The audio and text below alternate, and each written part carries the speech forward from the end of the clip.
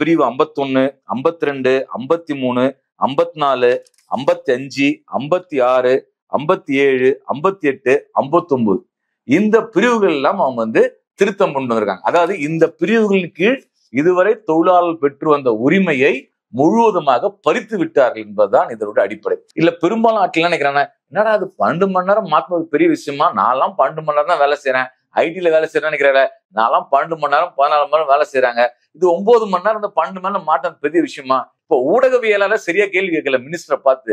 சரியா கேள்வி கேட்க வேண்டிய ஊடகவியலை ஏன் கேள்வி கேட்க முடியலன்னா அந்த ஊடகவியலாளர் பதினஞ்சு மணி நேரம் வேலை செய்யறாரு அவரே வந்து பன்னெண்டு மணி நேரம் எப்ப சோறு துண்ணுவார் தெரியாது எப்போ கேமரா பிடிக்கிற எப்போ வீட்டுக்கு போவார் தெரியாது. அவங்க நேரமே பார்த்தீங்கன்னா ஒரு சரியான உரிமை இல்லாத ஒரு சூழல் இருக்கு. இப்ப எட்டு மணி நேரம் வேலையை வந்து பதி பன்னெண்டு மணி நேரம் மாத்தணும்னா என்னுடைய உழைப்பை நான் எட்டு மணி நேரம் வேலை செய்து அது கொடுக்க வேண்டிய சம்பளத்தை நீ வந்து என்ன பண்றன்னா கூடுதலான மணி நேரம் வந்தனா நீ வந்து என் உழைப்பை சுரண்டுவதற்கு என் உழைப்பை முதலாளியில் சுரண்டுவதற்கு அரசாங்கம் இன்னைக்கு வந்து என்னன்னா வெஞ்சாமரம் வீசி வரவேற்றுது கூடுதல் மணி நேரம் ஒரு தொழிலாளி ஃபேக்டரியில வேலை செய்யும் போது அந்த தொழிலாளிக்கு இதுவரை கிடைத்து வந்த ஓட்டி எனக்கூடிய இருக்கு இல்லையா கூடுதல் பணம் கொடுக்கணும் இல்லையா ஒரு உழைப்புக்கு அந்த பணத்தை முழுவதுமாக காலி பண்ணிட்டாங்க.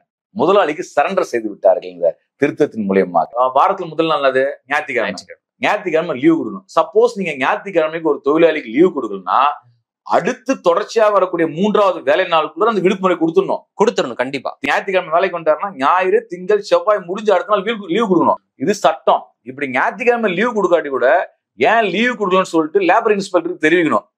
தெரிவிக்கிறது மட்டும் இல்லாம நோட்டீஸ் போர்டில் எழுதி ஒட்டணும். இது சட்டம் சொன்னது. முதலாளிகளுக்கு அவங்க ஆர்டர் வந்த உடனே அந்த ஆர்டருக்கு ஏத்த மாதிரி தொழிலாளி வேலை செய்யணும்.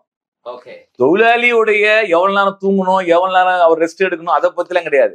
உனக்கு எனக்கு உற்பத்தி நடக்கணும்னு சொன்னா அதுக்கேத்த மாதிரி உன்னை நீ வேலை செய். அதாவது எனக்கு எப்போ வேலை இருக்கோ அப்போ உங்ககிட்ட நானு முழுசா வேலை வாங்கிடுவேன். முழுசா ரத்தத்தை சுரண்டுவேன்.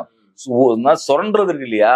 ரத்தத்தை ஒட்ட ஒட்ட சுரண்டுறதுக்கு முதலாளிகளுக்கு வாய்ப்பு கொடுக்குறாங்க ஒரு ஃபேக்டரிக்குள்ளார ஒரு தொழிலாளி வந்து பத்தரை மணி நேரம் தான் இருக்கணும்.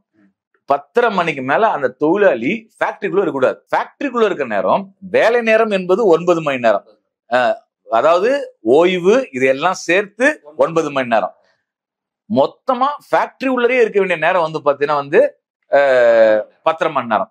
இந்த பத்தரை மணி நேரத்தை இவங்க என்ன சொல்றாங்கன்னா பதிமூணு நேரமா மண் மணி நேரமா மாறும். தேர்ட்டின் ஹவர்ஸ் வேலை நாள் போயிடுச்சு வேலை நேரம் போயிடுச்சு கூடுதலுக்கான ஓட்டி போயிடுச்சு. இது எல்லாம் போயிட்ட அப்புறம் அந்த தொழிலாளிக்கு வந்து என்ன இருக்கு? இளம் தொழிலாளி வாழ்க்கையினோட அத்தனையும் அனுபவிக்க வேண்டிய அந்த இளமை கா- காலகட்டத்தில் இருக்க ஒரு இளம் பெண் இளம் ஆண் வீட்டுல எழுந்து பல் தேய்ச்சி குளிச்சாலும் குளியோ சோர்த்துனாலும் இல்லையா உடனே வண்டி வந்து நிற்கும் ஏறணும்னா வண்டி நீட்டா ஃபேக்டரி கொண்டு வரும் வண்டியில ஏறின கணக்கு கிடையாது. ஃபேக்டரி உள்ளர வர கணக்கு தான். அப்புறம் வெளியே வரும்போது அவங்க எப்போ கரெக்ட் டைம் வந்தாலும் அங்கிருந்து ஊடு போய் சேர்றதுக்கு என்ன ஆகும்? அந்த கணக்கு. அப்போ வண்டியில அடைத்து இன்னைக்கு தொழிலாளியை கூட்டு போறாங்க. அப்ப என்ன அர்த்தம்? இந்த முதலாளிகளுக்கு வந்து என்னன்னா இந்த தொழிலாளியின் உழைப்பு என்பது மிக மிக அவசிய தேவையா இருக்கிறதுனால வாகனம் வைத்து ரெண்டு மணி நேரம் மூணு மணி நேரம் பிரயாணம் செய்ய வைத்து இங்க வந்து ஃபேக்டரி கொண்டு வராங்க.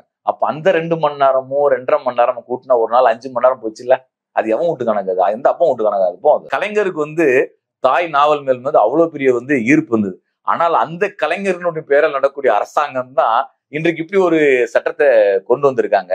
தாய் நாவலை தழுவி தான் ஒரு தாய் நாவலை எழுதிய ஒரு உழைக்கும் வர்க்கத்தினுடைய நெருக்கமாக இருந்த கலைஞர் அவர்கள் பேரால் நடக்கக்கூடிய அரசுனா இதற்கு விரோதமாக இந்த சட்டத்தை வந்து சட்டமன்றத்துல வந்து நிறைவேற்றிருக்கிறார்கள். இப்ப எல்லாமே வந்து நவீன கருவிகள் உருவாயிடுச்சு. மாடர்ன் ஆயிடுச்சு மாடர்ன் ஆயிடுச்சு மாடர்ன் ஆயிடுச்சுன்றோம். ஒரு மாடர்ன் இன்ஸ்ட்ருமெண்ட் வந்துச்சுன்றோம்.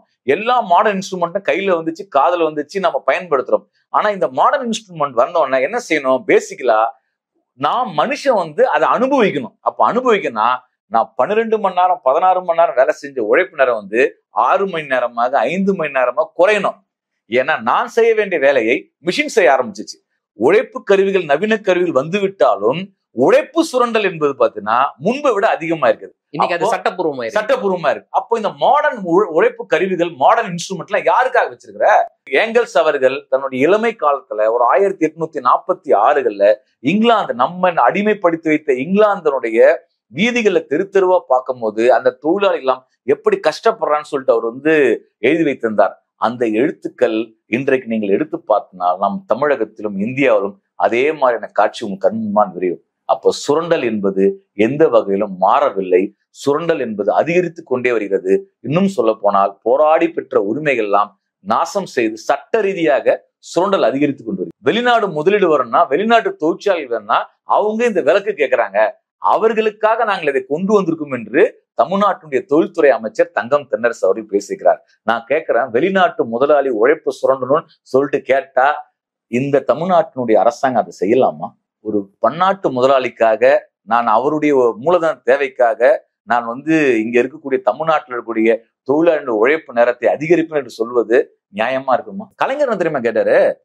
அவரு மேடையில் என்ன தெரியுமா பேசியிருக்காரு? இருபது வருஷத்துக்கு முன்னாடியே ஆறு மணி நேரம் மாத்தணும்னாரு கலைஞர். அதான் கலைஞர். ஏன் கலைஞர் நம்ம வந்து மேற்கோள் காட்டி மேற்கோள் காட்டி பேசுகிறோம்னா எட்டு மணி நேரம் கூடாது ஆறு மணி நேரம் தேவை என்பதை வந்து என்னன்னா கலைஞர் அவர்கள் பல ஆண்டுகள் முன்பாக சொல்லிவிட்டார். நீங்க ஊர் முழுக்க பார்க் கட்டி வச்சுக்கிறீங்க.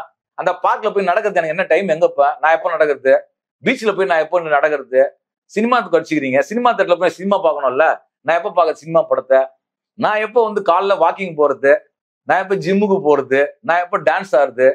சூப்பர் சிங்கர் மாதிரி பாடுறது எப்போ? அதுக்கெல்லாம் என்ன வாய்ப்பு இருக்குது? இதெல்லாம் அதான் இதெல்லாம் அனுபவிக்கிறது ஒரு கூட்டம். ரத்தம் சிந்தி உழைச்சிட்டு இருக்குது ஒரு கூட்டமா அது? அப்படிதான் ஆக்கி விட்டீங்க இப்போ. இதுல எங்க சமூக நீதி இருக்குது? இப்ப நீங்க பதிமூணு மணி நேரம் மாத்தினீங்க அமைச்சர் சொல்றாரு நாங்க வந்து ஏதாவது பிரச்சனை நான் உடனே நடவடிக்கை எடுத்துக்கோன்னு சொல்லிட்டு. என்ன நடவடிக்கை எடுக்கணும் உங்களால? ஃபேக்டரியில போயிட்டு இப்ப தொழில் இருக்கிறாங்க. எப்பா வேலையே கிடைக்கல பன்னெண்டு மணி நேரம் வேலை செய்வோம் செஞ்சுட்டே தான் இருப்பாங்க. இப்ப நீங்க கூட சொல்றீங்க மனிதருக்கு கழிவுகளும் மனிதர்கள் அகற்றக்கூடாது. பாதாள சாக்கடையில் இறங்கினா வந்து தப்பு சட்டர்ன்றீங்க செத்துறதுனா இருக்கிறீங்க என்ன பண்ணிட்டீங்க?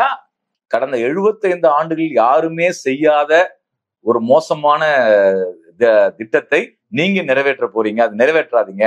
அது மட்டுமல்ல இந்தியாவிலேயே பாஜக அல்லாத ஆட்சி செய்யாத மாநிலங்களில இந்த மாதிரியான ஒரு சட்ட திருத்தத்தை கொண்டு வரக்கூடிய முதல் மாநிலமாக நீங்கள் இருக்கிறீர்கள். அப்படி இருப்பது வந்து சரியில்லை. இந்த அரசாங்கத்துக்கு சரியில்லை. எனவே இந்த சட்ட திருத்தம் தேவையில்லை வந்து எழுத்துப்பூர்வமாக கடிதம் கொடுக்கப்பட்டது.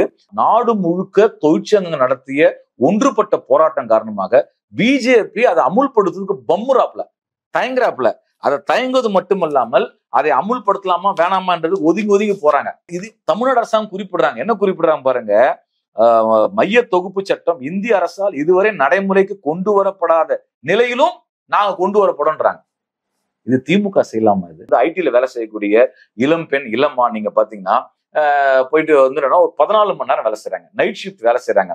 அவங்கள கார்ல கூட்டு வந்து கேப்ல கூட்டு வந்து வைக்கிறாங்க. இவங்க எல்லாம் வந்து பார்த்தோன்னா இந்த தொழிலாளர் உரிமையை அனுபவிக்காத நபர்கள். நான் வந்து தமிழ்நாடு அரசாங்கத்துக்கும் தமிழ்நாடு முதலமைச்சருக்கும் ஆஹ் கேட்டுக்கொள்ள விரும்புதெல்லாம் இந்த சட்டத்தை நீங்கள் முன்மொழிந்தாலும் திரும்ப பெறுங்க. அது திரும்ப பெறுவது என்பது ஜனநாயகத்தை நீங்கள் மதிப்பிற்கு சமமாக இருக்கும். உங்க இவ்வளோ பெரிய கூட்டணி கட்சியில் அத்தனை பேர்களும் வெளிநடப்பு செய்த பிறகு ஒரு சட்டத்தை நிறைவேற்று என்பது ஒரு ஜனநாயக மாண்புக்கு உகந்ததல்ல.